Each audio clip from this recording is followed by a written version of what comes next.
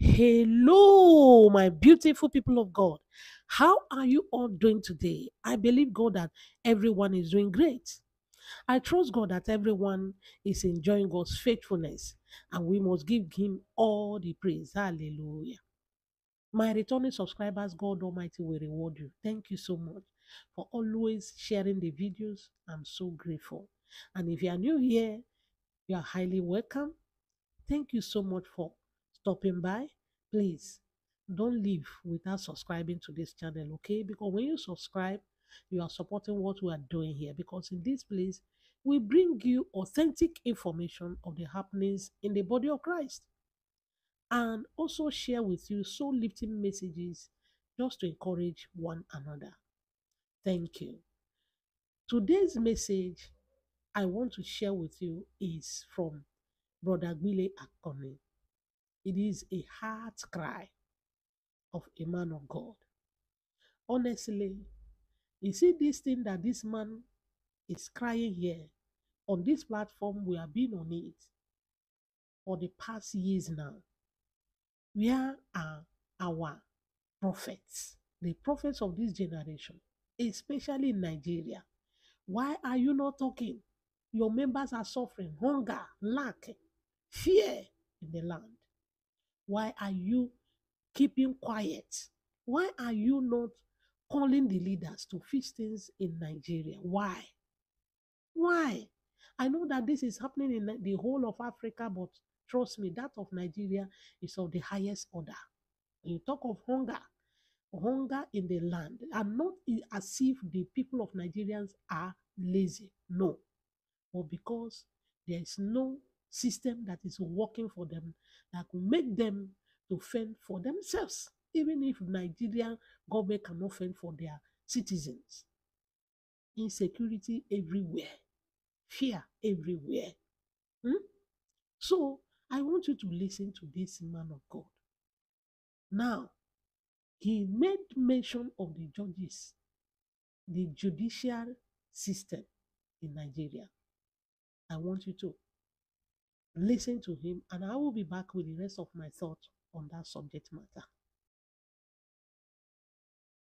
in Nigeria who has this kind of feeling that Habakkuk had? Are there some of you who quietly you are saying, Oh Lord, when will this confusion stop in Nigeria? When will wickedness stop in our land? When will the wicked stop oppressing the righteous with immunity? We cry, Oh God, when will you intervene? And you are watching us.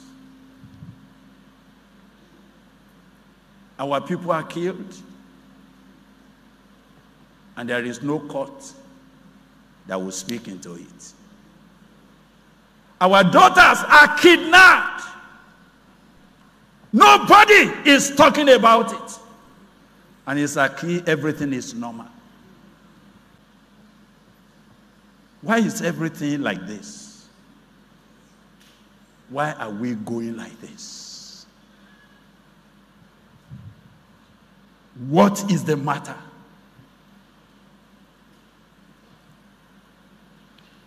I even cry out unto you concerning violence that is taking place.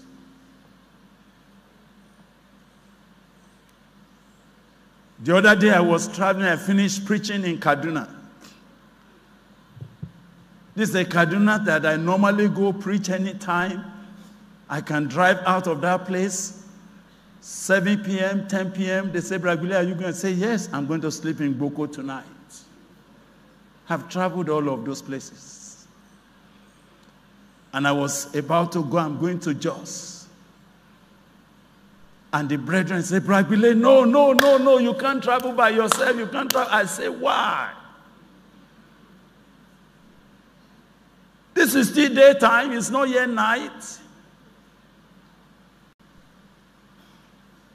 So the senior brothers and sisters who are in the military, they quickly organized and got a very serious entourage to go in front and to come behind.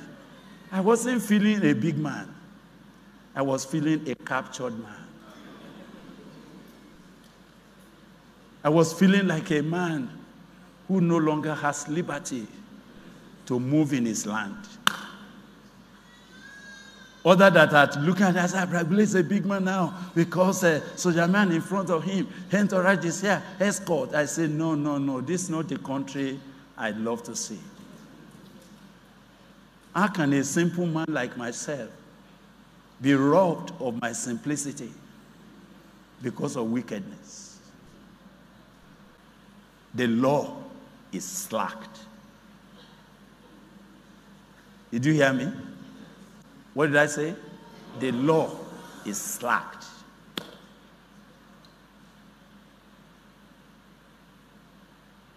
The law has lost, has lost its power, has lost lawfulness.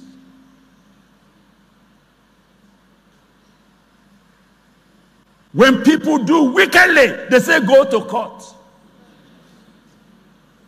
Because they know the court has become toothless. Their hands are tied. They know what is right to do, but they dare not do it.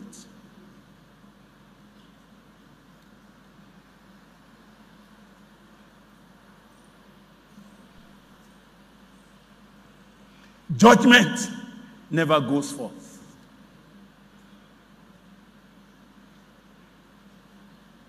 Those who have money, they are the ones that carry the judgment.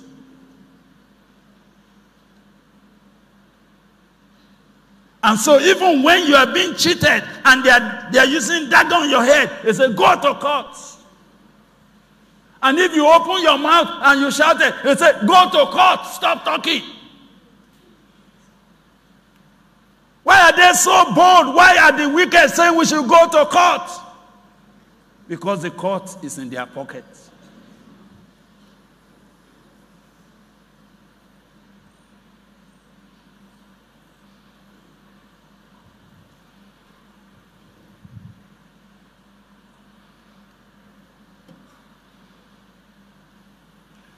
And the wicked, they compass the righteous everywhere. As if to say, We have told you, we are not about righteousness now. We have taken over. Whatever you know, whether it's right, keep it to yourself. We are in charge.